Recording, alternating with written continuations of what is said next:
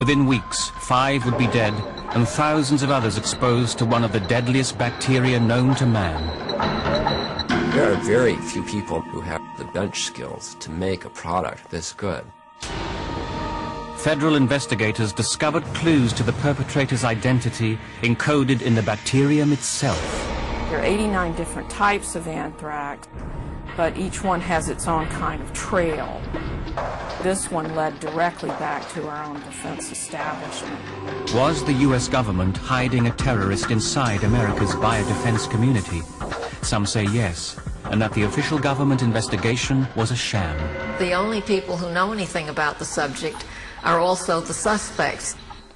They're protecting this individual. What we're dealing with here is an inside job with a real insider who has secrets that nobody wants to get out. It's going to be too humiliating, too embarrassing. All the spores were sent for immediate forensic testing. By the 10th of October, the analysis of the spores was complete. The results were horrifying. The bacterium that killed Robert Stevens and eventually infected seven of his colleagues was identified as the Ames strain, a strain long favored by and under the near total control of the U.S. Biodefense Program.